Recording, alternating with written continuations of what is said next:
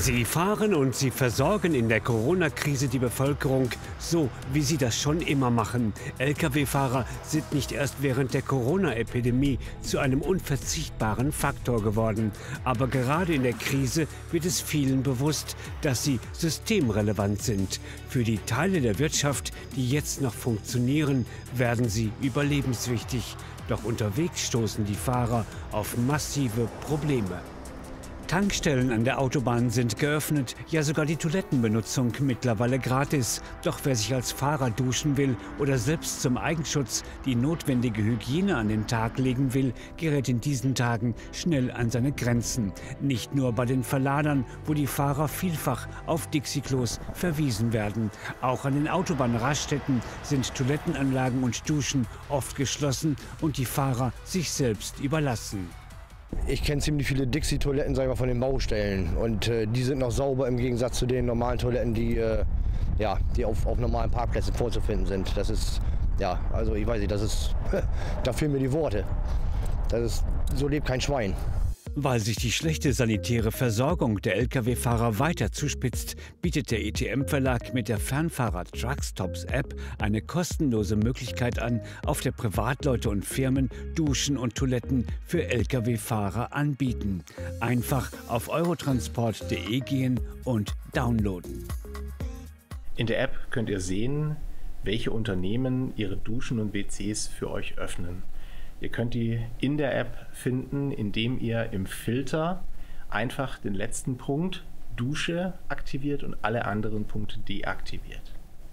Hier zur Karte zurück, sucht euch einen Punkt in eurer Nähe, tippt darauf und findet das Unternehmen, das euch die Dusche oder das WC zur Verfügung stellt.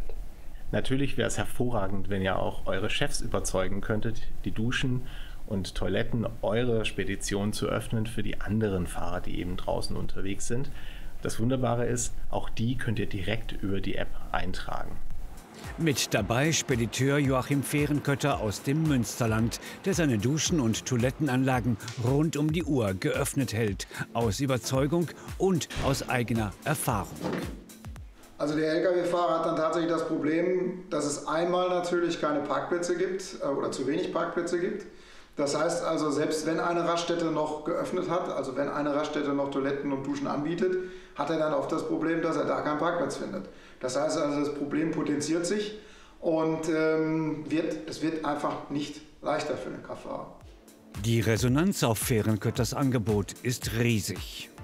Ja, hier können wir Moment nicht rein. Ähm, das ist tatsächlich heute schon so, dass das wirklich hier die Frequenz deutlich höher ist. Also das Angebot wird angenommen. Und äh, natürlich nicht nur von unseren Fahrern, sondern eben auch von Kraftfahrern von anderen Speditionen. Und ich denke mal, das wird heute Abend hier noch äh, ein lustiges Reihum geben. Also das äh, haben wir gestern Abend schon gesehen. Das wird hier, ich sag mal, wirklich gut genutzt. Und die Not vieler Fahrer ist groß, so groß, dass viele tatsächlich mehr als froh sind, sich endlich reinigen zu können. Sauberkeit und Hygiene nach einem anstrengenden Arbeitstag auf der Straße in de tijd van uh, momentan weer Corona, man fühlt, okay, ich habe das alles von mich abgewaschen. Ne? Wie neu geboren, Corona ist jetzt für heute Nacht passé, morgen fängt der Tag wieder neu an. Viele zeigen halt vollen Einsatz, was ich auch gut finde, um diese Krise zu bewältigen. Aber wenn noch nicht mal die einfachsten Dinge da sind, um sich körperlich reinzuhalten, ist es natürlich sehr schwierig, da noch mehr Einsatz zu zeigen, als den wir sowieso schon zeigen. Und wo man sich auch umhört, die meisten Lkw-Fahrer sprechen hinsichtlich der momentanen Hygiene von unhaltbaren Zuständen.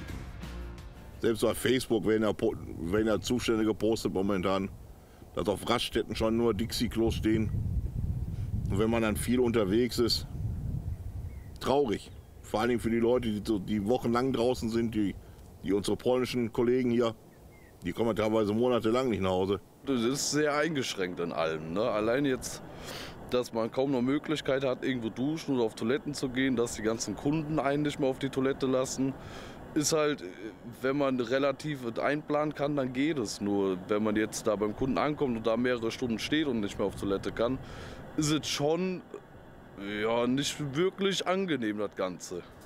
Auch hinsichtlich der Versorgung sind viele Lkw-Fahrer mehr als unzufrieden. Die Raststätten haben entweder komplett geschlossen oder sie beschränken ihren gastronomischen Service auf das absolute Mindestmaß. Längst beklagen nicht nur die Lkw-Fahrer selbst diese Situation.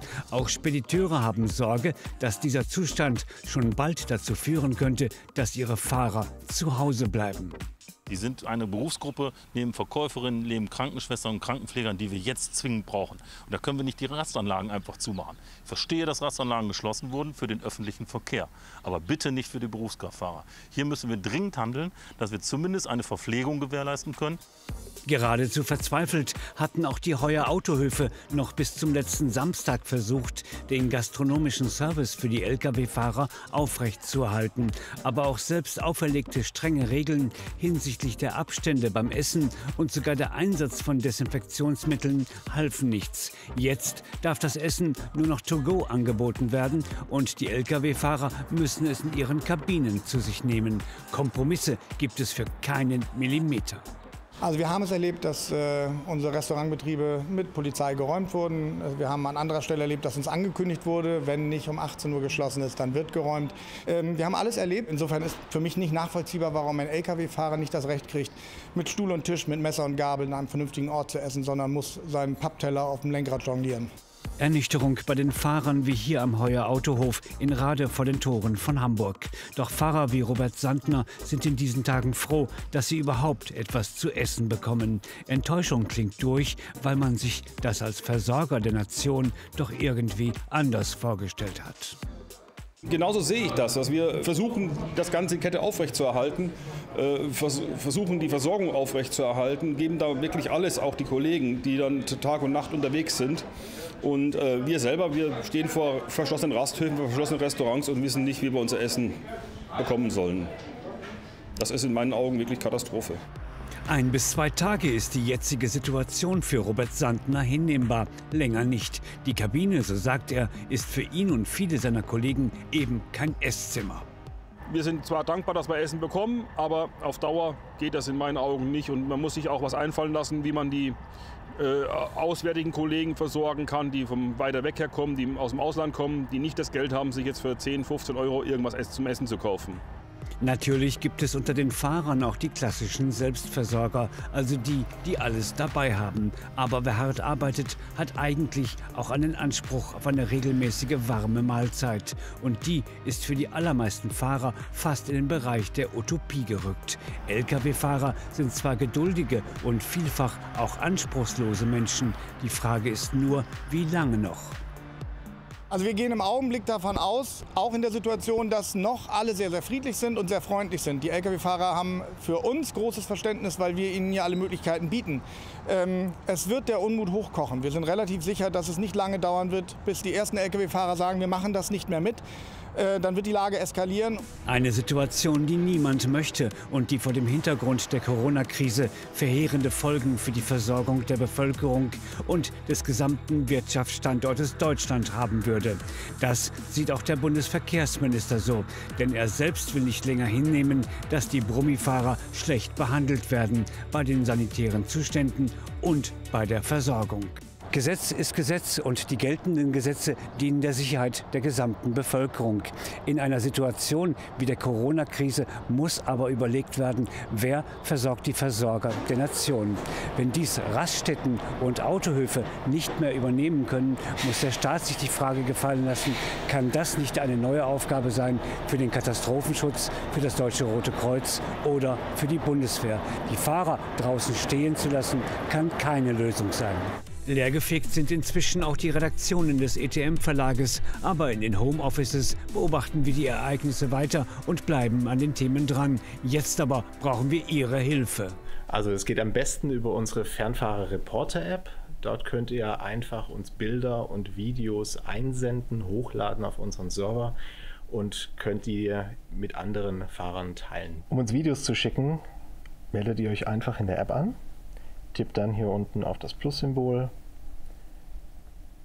durchsucht eure Videos, wählt das Video aus, das ihr uns schicken möchtet.